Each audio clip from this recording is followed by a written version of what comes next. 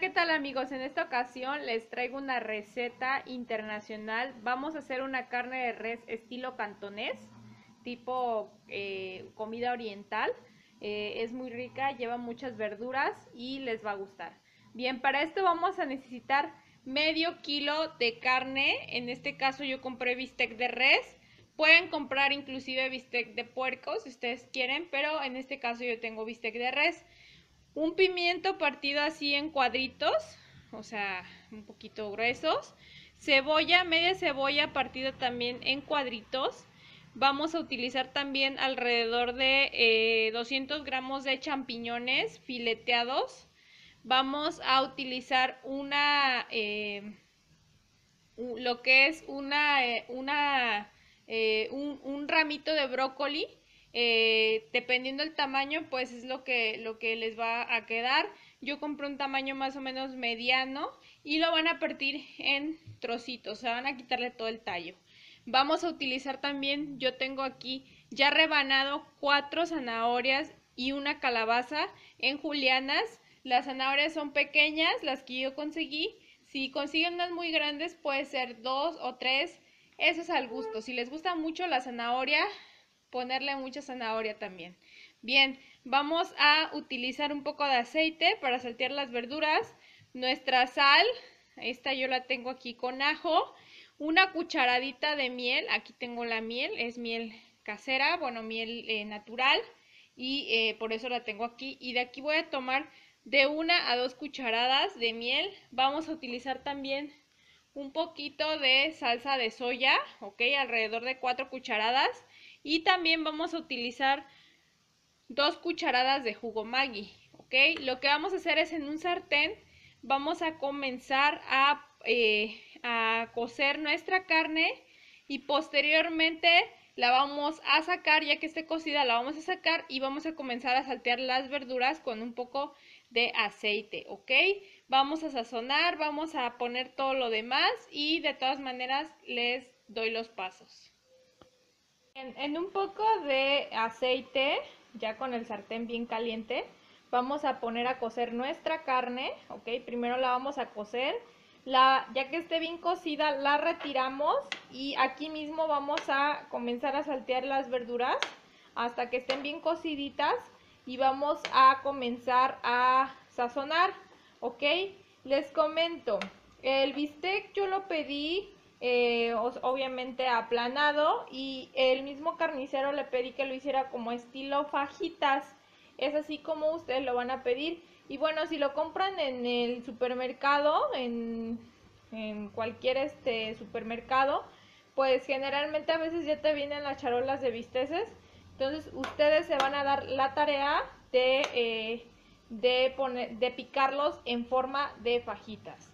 Bien, entonces voy a esperar a que se cosa esta carne, la retiro y empiezo a saltear las verduras. Bien, aquí ya tengo las verduras salteadas, ¿ok? Eh, retiré lo que es la carne junto con su jugo y le puse un poco de aceite al sartén, esperé a que se secara, obviamente le puse aceite y comencé con el pimiento y con la cebolla, ¿ok? Lo salteé un poquito y ya que estuviera más o menos cocido le agregué la zanahoria y la calabaza y hasta el final agregué los champiñones porque es lo que se cose más rápido. Entonces, sin dejar de mover y a fuego lento para que comiencen a, soltar eh, juguito, es como lo he estado cociendo.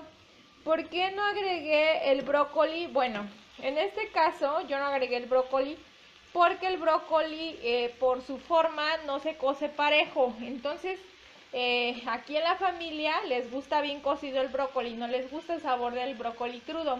Aunque es mejor consumirlo crudo debido a que conserva sus propiedades nutrimentales. Sin embargo, yo lo que voy a hacer es ponerlo un poco al vapor, un poquito nada más, unos minutitos al vapor y posteriormente agregarlo aquí y ya después voy a agregar la carne y vamos a comenzar a sazonar. Bien, como podrán ver aquí ya tengo el brócoli. De verdad que sale mejor eh, ponerlo al vapor aparte porque así no están moviéndolo y no corren el riesgo de que se desbarate por tanto movimiento. Entonces lo que vamos a hacer es eh, a continuación agregar la carne, moverlo un poco y ahorita les muestro cómo sazonar. Bien, voy a agregar una puntita de sal, más o menos por acá así. La sal recuerden que es al gusto, ¿ok? Voy a agregar también lo que es nuestro eh, jugo de, bueno, perdón, salsa de soya. Lo voy a esparcir. Vamos a agregar también nuestro eh, jugo Maggi y nuestra miel y mezclamos. Alrededor de dos cucharaditas de miel estará bien y alrededor de tres cucharaditas de jugo Maggi vamos a agregar también y va a estar muy bien. Y mezclo, ¿ok? En este momento no tengo mi tripié, así que voy a agregarlo yo y les muestro el resultado. Fíjese bien, le comento cómo eh, hice, eh, cómo añadí eh, los, los condimentos. Aquí hacemos un huequito en medio y aquí empezamos a añadir la salsa de soya, la el jugo Maggi, nuestra miel para que comience a derretirse con el calor y posteriormente vamos a mezclar, mezclar, mezclar y mezclar. Fíjense bien, si les gusta agridulce, porque en algunas ocasiones así es como te lo venden en, este, en la comida oriental, pueden agregarle un limón o un limón y medio, ok, exprimido, y les va a quedar agridulce. Si les gusta únicamente dulce, con la miel será suficiente. Dos cucharaditas a bajo fuego, todo esto, y mezclamos, mezclamos, mezclamos para que llegue ese condimento a todas las verduras y a toda la carne, ¿ok? Bien amigos, esto ha sido todo, eh, espero que lo disfruten, esto lo pueden acompañar con un arroz o con lo que ustedes quieran. La verdad es que con la cantidad de verduras que lleva, de verdad ya no hace falta poner ningún acompañamiento, pero es al gusto. Si tienen alguna duda sobre este video, no olviden preguntarme en la parte inferior, ¿ok? Pueden hacerme ahí sus comentarios y sus dudas, pueden dejarlas ahí y yo con gusto las responderé. Bien, no olviden suscribirse a mi canal. Muchas gracias. Hasta la próxima.